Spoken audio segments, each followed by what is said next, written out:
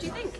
Okay, I think um, it's a true badminton test this year. The jumps are huge right from the word go. Um, fence two running downhill is particularly big and quite scary, so I think there'll be a few riders hoping that they're in control at the start. Um, but it does generally have a, a slightly kinder feel at the start, I think, this year. So I think it will. Um, I think we'll see quite a lot of riders get home, and I think particularly with the ground being good as well. Um, but there'll be lots of glances off and uncomfortable jumps, and I think the 15 penalty rule might be something that comes into play as well. And what do you think about the, the maximum time or optimum time of 11 minutes 45? Do you think we'll see some riders within that, or? I think um, I think it's a long way. I think it, it's kind of fairly maximum distance this year. I think the time will be tight. Um, I think you might get one or two, but I don't think there'll be. I don't think there'll be a lot inside the time.